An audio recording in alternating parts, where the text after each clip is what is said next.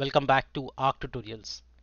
This is JavaScript Top 100 Coding Interview Questions and Answers. Today is question number 12 that is how to find minimum value in a numbered array.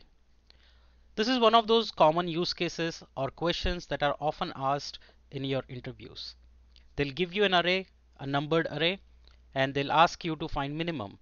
This is very similar to what we saw in the previous episode where we found out the maximum value in a numbered array. Today we are going to learn how to find minimum value in a numbered array. Let's get started. Alright, before I get started, I'll request you to kindly check out the ebook that I have published which covers more than 100 plus tutorials and JavaScript code snippets that are often asked in interviews. These coding snippets will also help you become a better developer by increasing and improving your logical ability to think. Please do check out the ebook. The ebook link is in the description box below. You can also find it at arctutorials.gumroad.com. Alright, so the question is how do you find the minimum value in a numbered array? To find minimum value in a numbered array, we'll have to implement a custom method in which we will make use of array reduce method. What does the array reduce method do? It would loop through each element and we will then make a check to check if the value is less than the previous element. That's simple as that and the same logic applies to finding maximum also. So let's get started and do the hands-on now. First I'm going to open empty script and I'm going to just define an array and you can call it anything um, any num any anything say IDs or say student IDs is equal to and give some numbers here.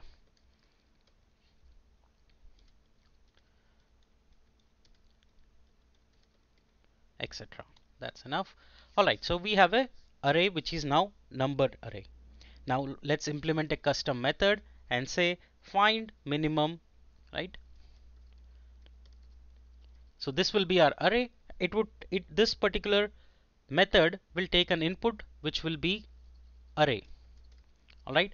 So now what we'll do, we will use array reduce method and we will then write array dot reduce. So this will use a reduce like how filter is there like that it's an inbuilt method and the predicate takes if you see here it says there is a callback method it will take the current value current index and array complete array right? So we are going to implement that now and write a custom function.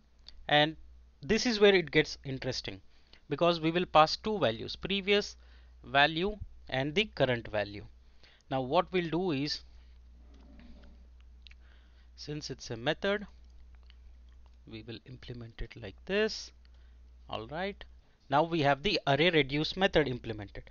And here we just need to check if the value is greater than or not so I'm going to check if the previous value is conditional statement, right? So here we are saying if it is greater, return P or else return P. Simple as that. That's the simplest way that you can find the minimum value in a numbered array. Okay. Now let's test it out and see how it looks. Alrighty, so this is my page.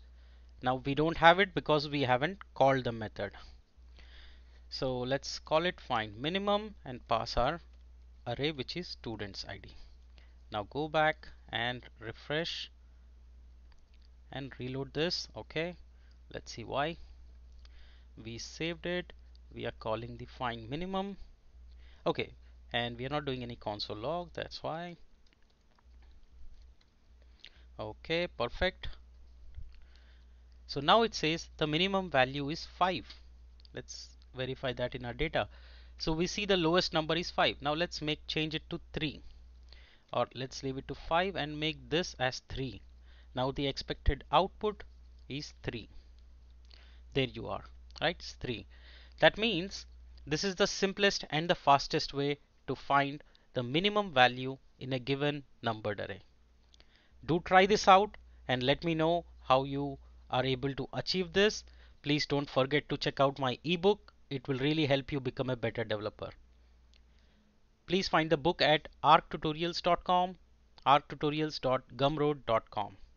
Thank you so much for joining.